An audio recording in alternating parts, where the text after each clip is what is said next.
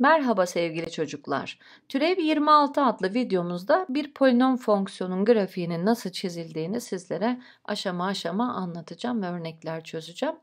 Şimdi e, grafiği çizerken e, bulmamız gereken belli başlı noktalar var. Onları nasıl tespit edeceğimizi şöyle başlıklar altında bir e, inceleyelim. Sonra da uygulamasını yaparak e, daha güzel pekiştirelim. Fx'in bir kere x eksenini e, ve y eksenini kestiği noktaları buluyoruz. Bunu nasıl yapıyorduk? Daha önceden de başka e, fonksiyon grafiklerini çizerken de yapıyorduk bunu. x'e 0 verdiğimizde y'yi kestiği noktaları, y yerine 0 yazdığımızda da x'i kestiği noktaları buluyorduk. Yine aynı işlemi burada da yapacağız. Eksenleri kestiği noktalar bulunuyor. İlk olarak bunu bulacağız. Sonra e, türevin işaretlerini inceleyerek, işaret tablosuna bakarak maksimum ya da minimum noktalarını ve bu tablo yardımıyla artan ve azalan olduğu aralıkları belirliyoruz. Bu bize grafiği çizerken bir ipucu olmuş oluyor. Sonra y eşittir fx'in tek katlı köklerinde grafiğin x eksenini kestiğini, e, çift katlı köklerinde de x eksenine teğet olduğunu göz önünde bulunduracağız. E, tek katlı kök, çift katlı kökten kastımız e, diyelim ki şöyle bir çarpanı var ifademizin x eksi a üzeri n şeklinde. Eğer n çiftse x eşittir a çift katlı kök olmuş oluyor. Çift katlı köküdür.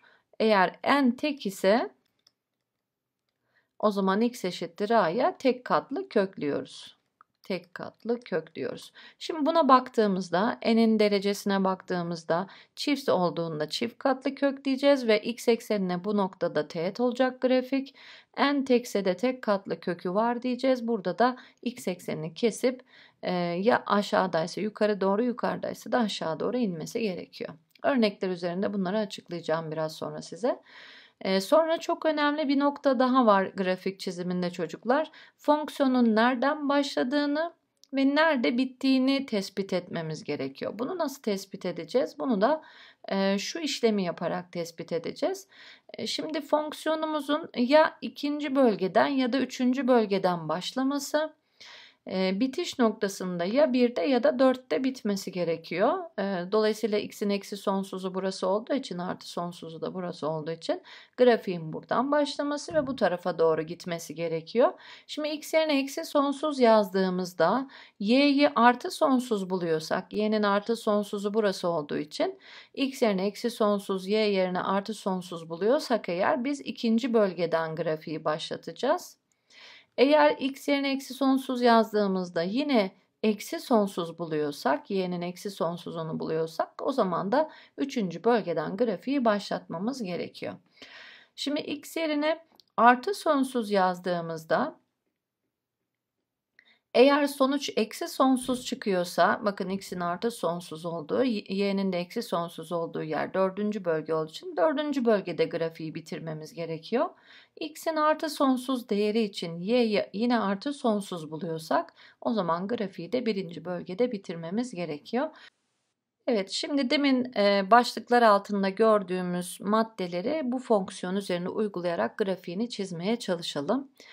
İlk olarak dedik ki eksenleri kestiği noktaları bulacağız. Yani x yerine 0 yazacağız. Y'yi y yerine 0 yazıp x'i bulacağız. Şimdi x'e 0 yazdığımızda y değerimiz e, 0 yazarsak birinci çarpandan 2 gelir. ikinci çarpandan eksi 1. Üçüncü çarpandan da eksi 4 gelir. Bunları çarptığımızda 8 buluruz. Yani 0'a 8 noktasından geçecekmiş fonksiyonumuz. Sonra y eşittir 0 için diyelim. Fonksiyonu 0'a eşitlediğimizde 3 tane çarpanı var. Her birini ayrı ayrı sıfıra eşitliyoruz. Buradan x eşittir eksi 2 bulduk. E, bu ikinci çarpanımız x eksi 1'i sıfıra eşitlediğimizde x eşittir 1 buluyoruz. Üçüncü çarpanımızı sıfıra eşitlediğimizde x eşittir 4 buluyoruz. Gördüğünüz gibi 3 çarpanda tek e, kuvvet, tek katlı kök. Dolayısıyla ekseni kesip x eksenini kesip aşağı ya da yukarıya doğru gitmesi gerekiyor grafiğimizin. E, şimdi bu noktaları da koordinat sisteminde 2,0 1,0 ve 4,0 şeklinde yazalım. Bu noktaları işaretleyelim şimdi grafik üzerinde. E, buraya 1, 2, 3, 4, 5, 6, şöyle biraz uzatalım grafiğimizi. 7, 8 noktasını işaretleyelim. X'in 0, Y'nin 8 olduğu nokta burası. Buradan geçecek grafiğimiz. X'in eksi 2 olduğu yerden geçecekmiş. Buradan işaretledik. X'in 1 olduğu yerden geçecekmiş. Orayı da işaretledik. 2, 3 bir de 4 olduğu yerden geçecekmiş. Orayı da işaretledik.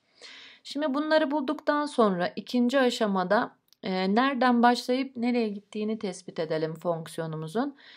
X yerine eksi sonsuz yazdığımızda şimdi fonksiyonumuzu şu şekilde y değerini bulacağız. fx'in açılımını düşündüğünüzde en büyük dereceli terimi x küp olduğu için çocuklar e, burada x küp yerine x yerine eksi sonsuz yazdığımızda eksi sonsuzun küpü yine eksi sonsuz olduğu için y değerini de eksi sonsuz bulmuş oluyoruz. Yani x'in eksi sonsuz y'nin de eksi sonsuz olduğu yerden başlıyormuş grafiğimiz. Üçüncü bölgeden başlayacak diyoruz grafiğimiz. Üçüncü bölgeden başladığını tespit ettik. Peki nereye gidiyormuş onu da bulalım. x'e artı sonsuz verdiğimizde y değerini ne buluyoruz bakalım. y'ye x artı verirsem y de artı sonsuz çıktığı için e, dolayısıyla x'in artı sonsuz y'nin de artı sonsuz olduğu bölge olan birinci bölgeye doğru e, grafiğimizi çizeceğiz. Üçüncü bölgeden başlıyor grafiğimiz. Birinci bölgede son buluyor çizdiğimiz e, yer. Üçüncü olarak fonksiyonun şuraya tepeye yazacağım yer kalmadı orada. Üçüncü olarak fonksiyonun türevini alıyoruz çocuklar. F'in türevini bulduğumuzda e, maksimum minimum noktalarını ve artan azalan olduğu noktaları tespit ediyorduk. Şimdi 3 çarpanlı ifadenin türevini almayı kısaca size şöyle göstermiştim daha önceki e, konuları anlatırken. İlk terimin ilk çarpanın türevini alıp yanına e, diğer çarpanları x artı pardon ilkinin türevini aldık. 1 yazdık. Yanına diğer çarpanları yani x eksi 1 ile x eksi 4'ü ilave ediyorduk. Artı ikinci çarpanın yani x eksi 1'in türevini aldım. O da 1. İlk iki ilk çarpanla son çarpanı yanına ilave ediyorum. Artı son terimin türevini alıp ilk iki çarpanı da x artı 2 ile de x eksi 1'i de yanına ilave ediyoruz. Şimdi bu ifadeyi düzenlediğimizde e, fonksiyonun birinci türevini bulmuş olacağız. Şimdi bu ifadenin düzenlenmiş halini yazacağım ben size. x kare eksi 2x eksi 2 eşittir 0 bulmuş oluyoruz. Yani 0 eşitledim şimdi köklerini bulacağım. Şimdi x kare eksi 2 x eksi 2 ifadesinin kökleri var mı yok mu bir inceleyelim bakalım. Deltası şuradan çünkü çarpanlarını ayırarak bulamayacağız. 2'nin çarpanlarının içinde toplamı 2 yapan 2 e, çarpanı yok. Dolayısıyla deltasını bulursam b kare eksi 4 ac'den de e, deltası 8 4 daha 12 sıfırdan büyük gelmiş oldu. Yani iki tane e, kökü varmış bizim e, türevimizin. E, o iki kökü e, biz tabloya A ve B olarak işaretleyelim. Çünkü tam sayı olmadıkları için burada da gösteremeyeceğiz. Ama grafiğimizi nasıl çizeceğimizi tespit etmemiz için A ve B'yi bu şekilde tablo yardımıyla bir gösterelim. X karenin işareti artı olduğu için artı. 0 gördüm işaret değiştirdim 0 gördüm işaret değiştirdim. Gördüğünüz gibi bir tane maksimum noktası var bu fonksiyonun bir tane de minimum noktası var. Peki bu A ve B sayıları acaba aynı işaretle mi? Yani birisi sıfırdan küçük birisi sıfırdan büyük mü ya da ikisi de sıfırdan büyük mü ikisi de sıfırdan küçük mü onu inceleyelim. Hemen kökler çarpımını bir e, hesaplayalım buradan. İki kökümüz A ve B'ydi. Kökler çarpımı C bölü A'dan eksi 2 yani sıfırdan küçük e, çıktığı için A ve B'nin e, zıt işaretli olduğunu anlıyorum. Biraz yorum yapıyoruz çocuklar bu soruyu çözerken. A ve B'nin zıt işaretli olduğunu anlıyorum. Yani bir tane burada e, maksimum noktası olacak sıfırdan küçük bir değer için. Bir tane de e, B noktası gibi sıfırdan büyük olduğu bir nokta içinde e, minimum noktası olmuş olacak. Maksimum minimum noktalarımız bu bölgelerdeymiş.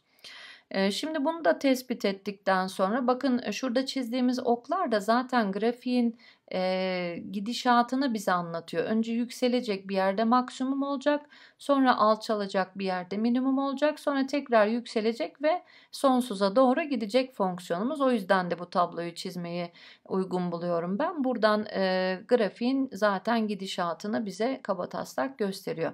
Şimdi yukarıya çıktık. Üçüncü bölgeden başladık. Yukarı çıktık. 2 noktasından geçecektik, geçtik. E, şimdi bu fonksiyon buradan artarak devam ediyor. Arttı, arttı. Bir yerde maksimuma ulaştı, sonra inmeye başlayacak. Ve buradaki 0'a 8 noktasını keserek aşağıya doğru inmeye devam ediyoruz. Sonra bu aşağıya doğru inme noktasında da bir noktasında aşağıya e, x ekseni keserek aşağıya inmeye devam edecek. Sonra e, bir noktada minimum değerini alacak. Tekrar twarz. E, yukarı çıkarak 4 noktasından da geçerek sonsuza doğru gidecek. Bakın birinci bölgede bitecek demiştik. Birinci bölgede sonsuza doğru aktı fonksiyonumuz. Üçüncü bölgede başlayacak demiştik. Zaten de oradan başladık. E, fonksiyonu çok e, düzgün çizemedim. E, tabii elimizde çizdiğimiz için ama kaba taslak bakın burada çizdiğimiz oklar gibi önce bir yükseldi fonksiyonumuz. Bir yerde maksimum değerini aldı. Şimdi bu maksimum aldığı değer tam sayı olmadığı için onu yazamadım çocuklar. Bu A noktasında yani şöyle nokta nokta aşağıya indirirseniz bir A noktasında bu maksimum değerini aldı. Sonra tekrar azalmaya başladı. 0'a 8 noktasından azalarak bir noktasında keserek aşağıya doğru indi. İşte bu tekrar minimum olduğu noktada B noktası bizim kök olarak seçtiğimiz B dediğimiz nokta. E, bu B noktasından sonra da tekrar 4 noktasını keserek bu noktayı kesmesi gerekiyor çünkü birinci bölgeye doğru yükselerek devam ediyor grafiğimiz. E, kaba taslak fonksiyonumuzun grafiği bu şekilde çiziliyor çocuklar. Evet şimdi B şıkkındaki fonksiyonun grafiğini çizelim. Tabii çocuklar bunu söylememe gerek var mı bilmiyorum ama e, üçüncü dereceden fonksiyon grafiğini çizdiğimiz için bunu bir eğri şeklinde çizeceğiz. Bir önceki fonksiyonu da yine aynı şekilde böyle noktaları keskin doğrusal birleştirmiyoruz. Eğri şeklinde birleştiriyoruz. Ona dikkat edelim. Şimdi aşağıda verilen fonksiyon grafiğini çiziniz demiş. Şimdi yine aşamalarımızı aynen takip edelim. Birinci aşamada işte x'e 0 verip y'yi, y'ye 0 verip x'i buluyorduk. x'e 0 verince y de 0 geldi. Dolayısıyla orijinden geçiyormuş bu grafik. 0 0 noktasını bulduk. Sonra y'ye 0 verdiğimizde e, fonksiyonumuz x küp eksi 16x eşittir 0 dersek eğer e, x parantezini alalım ifademizi x kare eksi 16 eşittir 0'dan x'i bir 0 buluyoruz. Zaten yukarıda bulduğumuz nokta olmuş oldu bu.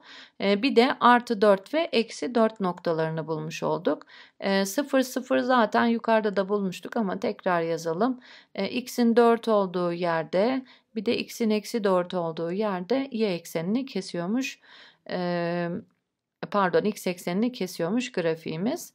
E, eksenleri kestiği noktaları bir işaretleyelim. 0 0'ı bulduk. Sonra x'in 4 olduğu yere 1, 2, 3, 4 olduğu yeri bulduk. Burayı işaretledim. Bir de eksi 4 olduğu yeri 3, 4. x'in eksi 4 olduğu yeri de işaretledik. E, bu üç noktadan e, geçmesi gerekiyor.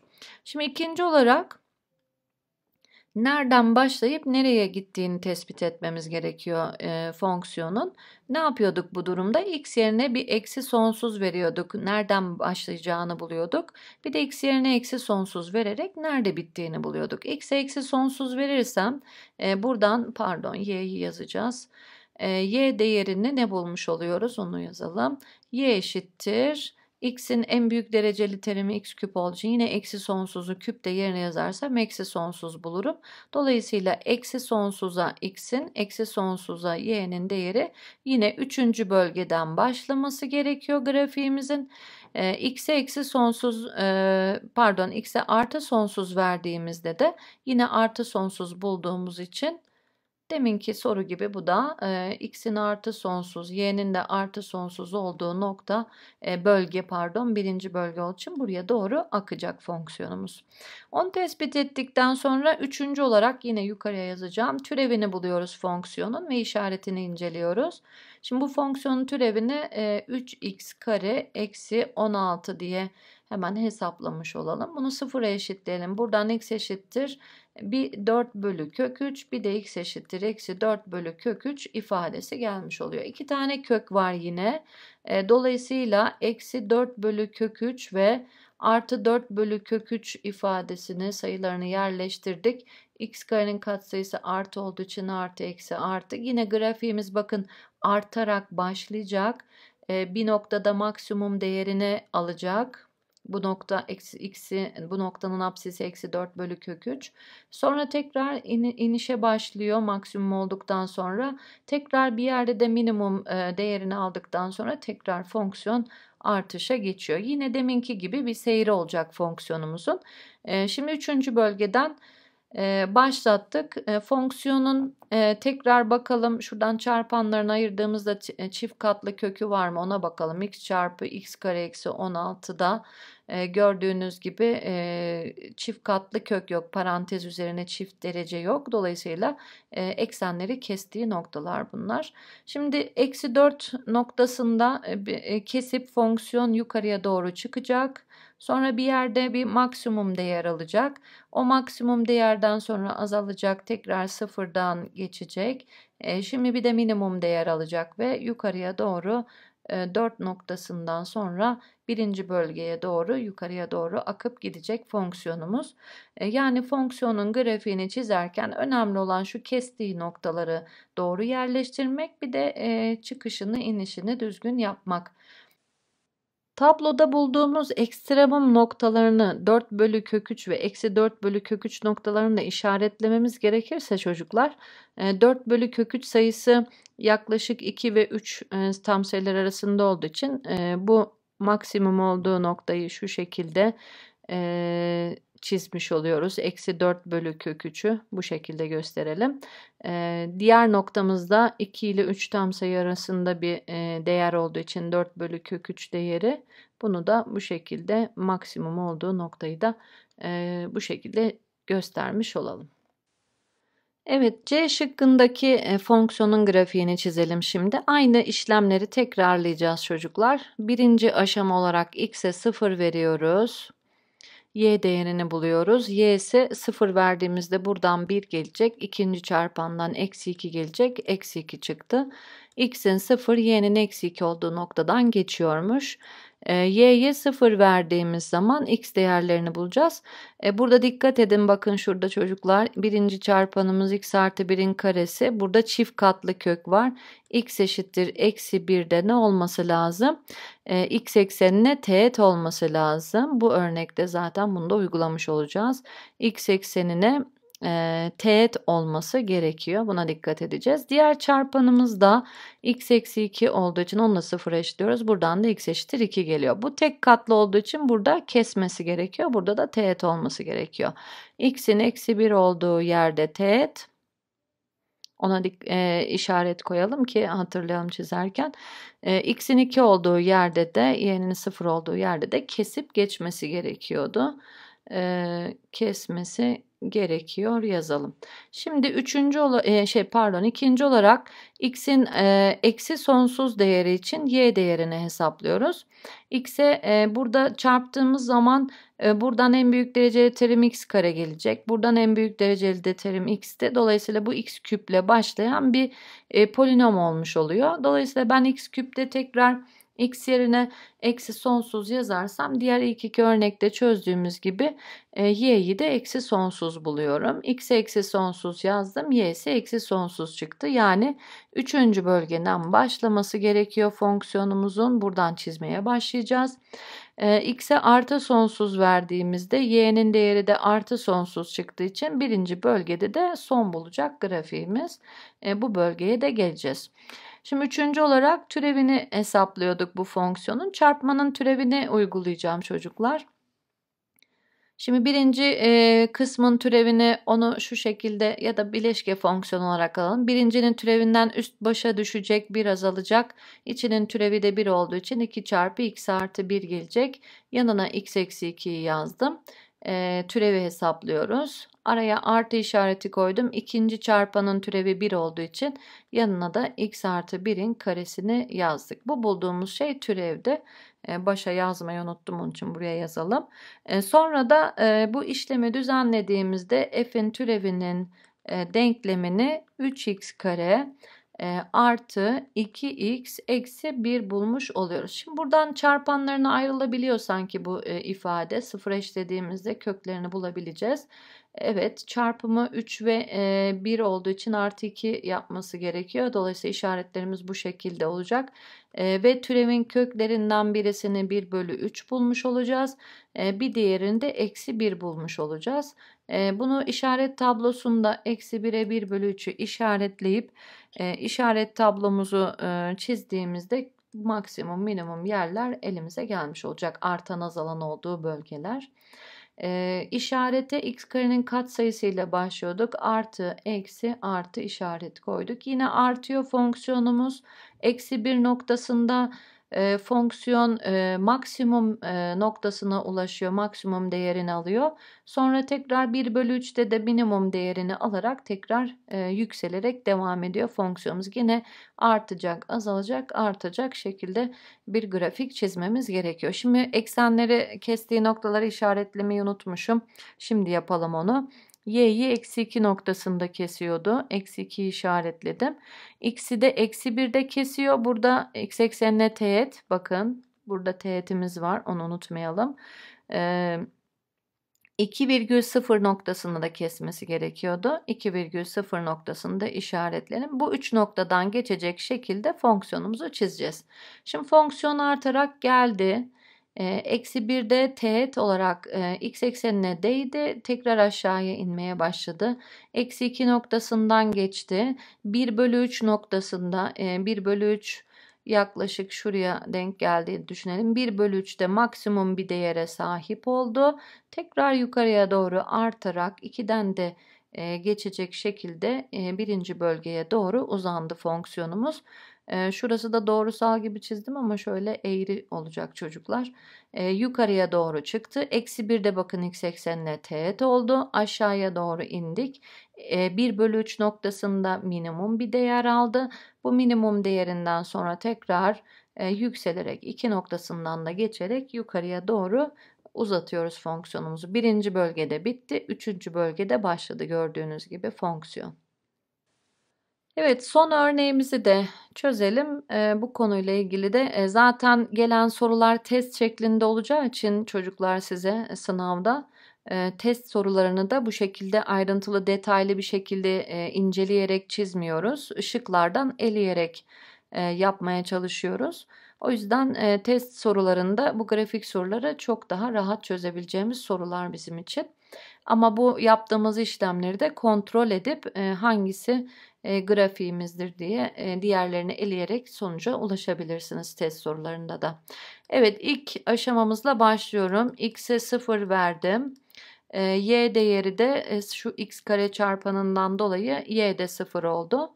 E, y'ye 0 verdiğimiz zaman da x kare çarpı 3 eksi x'i 0 eşitledik. Buradan bir x eşittir 0 geldi ama burada x kare olduğu için bunun e, çift katlı kökü var burada. Bu noktada e, teğet olması gerekiyor x eksenine. Onu da yazalım. X eksenine teğet e, çizmiş olacağız. E, diğer e, kökümüzden de 0 eşlediğimizde x eşittir 3 gelmiş olacak. Yani e, 0'a 0 noktasını yukarıdan da zaten onu bulmuştuk. E, buradan da x'in 3 y'nin 0 olduğu noktayı bulduk. Yani bir bu noktada e, 0 0 noktasında eksenleri kesiyormuş grafiğimiz. Bir de 3 x'in 3 olduğu yerde. Bir de burayı işaretleyelim. İkinci olarak nereden başlayıp nereye gittiğini bulacağız. X yerine eksi sonsuz yazdığımızda y'nin değerini hesaplayalım. Buradan dağıtarak çarptığımızda bu ifadenin en büyük dereceli terimi eksi x küp olmuş oluyor çocuklar. Dolayısıyla biz x küp yerine eksi sonsuz yazarsak yine eksi sonsuz buluyoruz ama önündeki eksiden dolayı y'yi artı sonsuza dönüştürüyor. Bakın bu diğer çizdiğimiz 3 örnekten farklı. x'in eksi sonsuz y'nin artı sonsuz olduğu bölgeden yani ikinci bölgeden başlayacak. Tekrar x yerine artı sonsuz verdiğimizde bulduğumuz değer y'nin değeri artı sonsuz için x'in küpü yine artı sonsuz olacak ama önündeki eksiden dolayı sonucu eksi sonsuz bulacağız. E, ikinci bölgeden başladık ama dördüncü bölgede bitecek grafiğimiz. Peki bu standart mı?